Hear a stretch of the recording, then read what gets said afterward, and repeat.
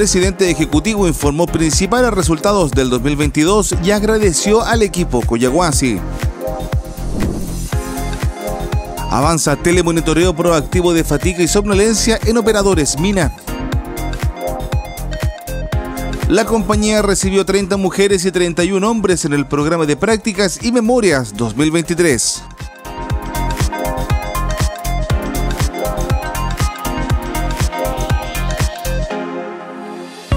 En su tradicional mensaje a la organización para compartir los principales indicadores del año que finalizó, el presidente ejecutivo de Coyahuasi, Jorge Gómez Díaz, reconoció el aporte de cada una de las personas que forman parte de la compañía, destacando que su comprometido alineamiento con el ciclo de gestión de riesgos y su esfuerzo diario son la base del cumplimiento de nuestros compromisos.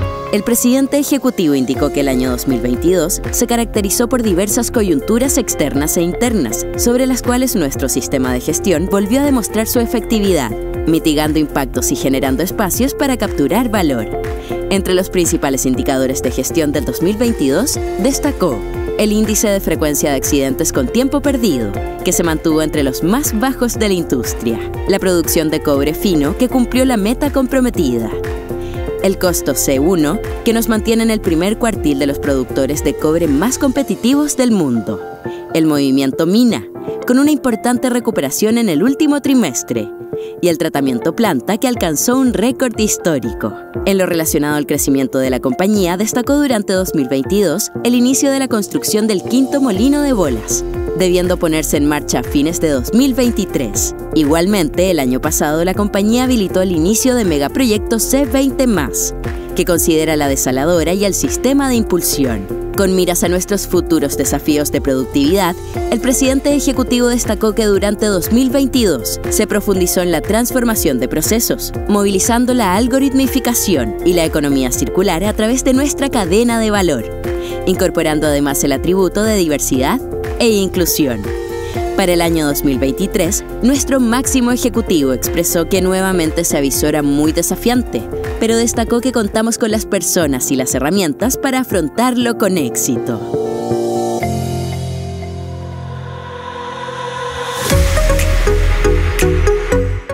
Este miércoles 11 de enero se llevó a cabo la formalización de la fase 2 del programa de telemonitoreo obligatorio dirigido a operadores y operadoras de la vicepresidencia Mina, con la entrega de relojes inteligentes para monitorear el estado de salud y prevenir los riesgos de fatiga y somnolencia durante la ejecución del turno de trabajo. La iniciativa desarrollada en conjunto entre la Gerencia de Seguridad y Salud Ocupacional y la Vicepresidencia Mina consiste en el uso de un reloj inteligente con un chip 4G incorporado el cual sirve como puente de información entre la sala de algoritmificación Mina y el usuario, brindando de esta forma un sistema independiente que no necesita uso de los celulares o dispositivos personales de cada operador u operadora. Desde la Gerencia de Seguridad de Salud Ocupacional explican que el uso de este reloj será de carácter obligatorio, siendo parte de los elementos de protección personal, por lo que se requiere disciplina al momento de mantener el dispositivo con carga durante su uso y disponible en la faena ya que dentro de las próximas semanas este sistema reemplazará el dispositivo ERICAR implementado en los cascos de seguridad. A diferencia de ERICAR, que es un sistema reactivo ante muestras de fatiga o somnolencia, el reloj de telemonitoreo es proactivo, es decir, permite detectar el riesgo antes que ocurra una situación de peligro por esos factores. ¿Qué es lo que busca inicialmente este proceso?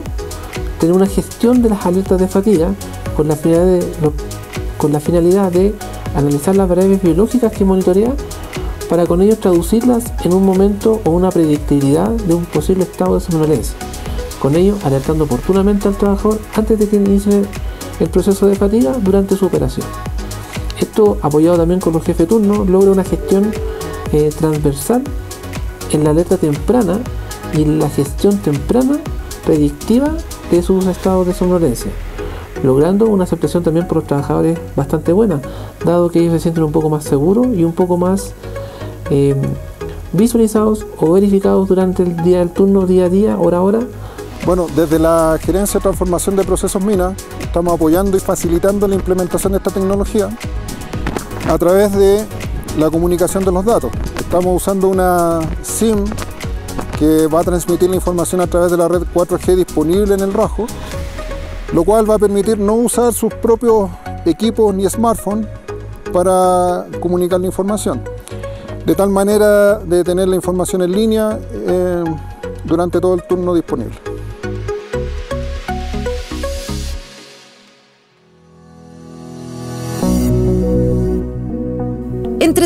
Todos le dijimos chao a la botella plástica para nuestra hidratación en faena y ahora queremos conocer tu opinión sobre este importante proceso de cambio para cuidar el planeta.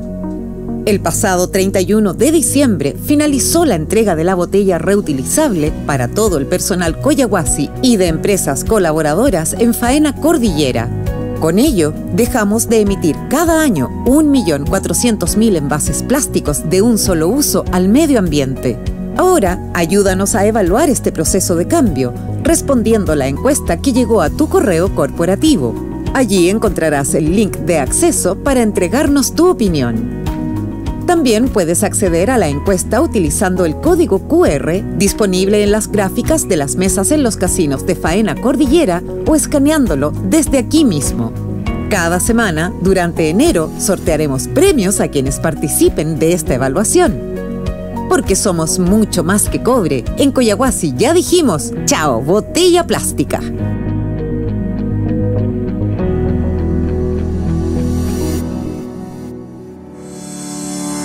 Involucrando 31 hombres y 30 mujeres, nuestra compañía inició el programa de prácticas y memorias 2023 mediante el onboarding que se realizó el lunes 9 de enero en el Salón Auditorio de Oficina Baquedano en Iquique, ocasión en que recibieron la bienvenida del equipo ejecutivo de nuestra organización.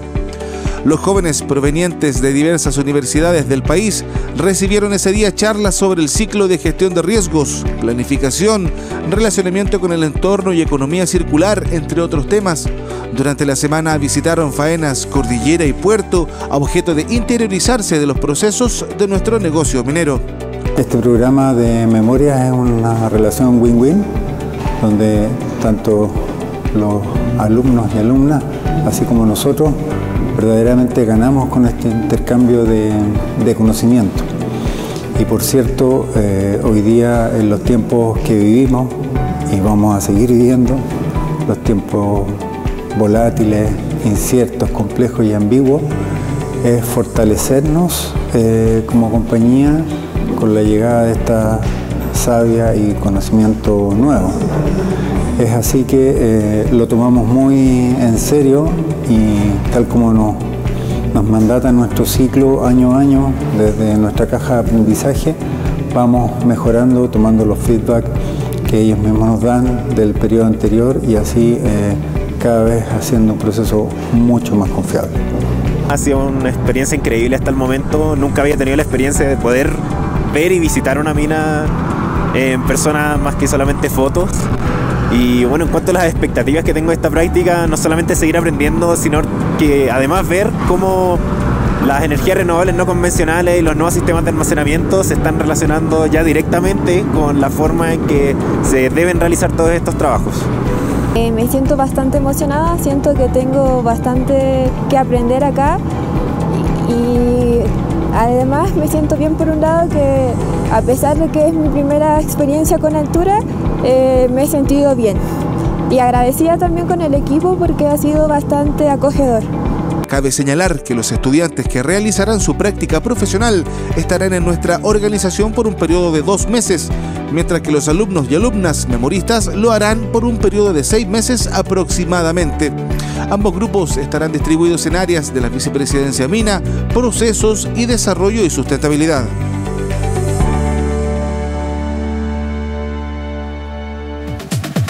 Tras retomar durante 2022 su normalidad, las actividades deportivas en Faena Cordillera sumaron durante diciembre pasado una variedad de clases dirigidas con la finalidad de tener un abanico amplio de alternativas al momento de ejercitarse. Nuestras actividades de clase dirigidas son Zumba, entrenamiento funcional, Body Pump, Body Combat y RPM Spinning. Es importante que vengas a participar con nosotros. Te invitamos. Las actividades mencionadas no necesitan de inscripción anticipada y se realizan de lunes a domingo desde las 9.15 hasta las 10 de la mañana y durante la noche a contar de las 21.15 y hasta las 22 horas. Adicionalmente, las actividades al aire libre como el fútbol, pádel o cicletada se deben coordinar con los monitores de Sport Life para verificar la disponibilidad de las instalaciones y equipamientos. Recuerda utilizar el calzado y ropa adecuada para tus actividades deportivas. Lleva tu botella con agua para hidratarte y sigue las buenas prácticas durante tus rutinas de ejercicios.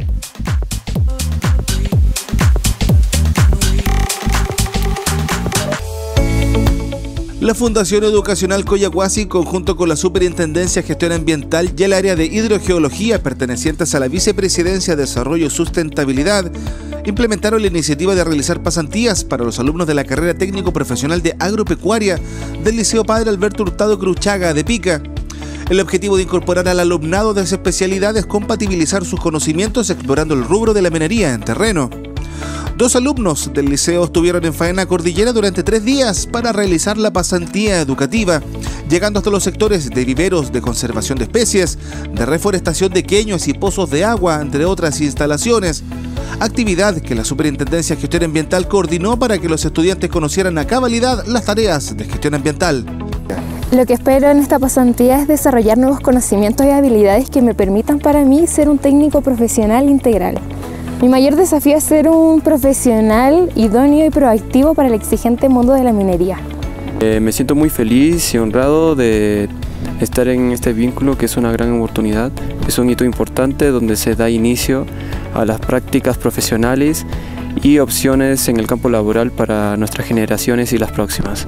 El hidrogeólogo Víctor González explicó que junto a la ingeniera compensación ambiental Alejandra Ponce se ha trabajado en un hito que busca integrar a más jóvenes estudiantes a la operación minera, que no solamente estén ligados a la extracción de mineral o de mantención, sino que también estén relacionados al medio ambiente, lo cual se ha reforzado desde marzo a través de charlas de concientización de alumnos y profesores a objetos de vincular la especialidad que siguen con nuestras operaciones. Sí, se le ha visto súper bien. Ellos han presentado interés, motivación, no han presentado punas, han estado súper bien en, terreno, así que es una iniciativa que buscamos que este sea el, puntapié inicial y a futuro sea ya una, una iniciativa que esté impregnada en el ciclo de Coyahuasi.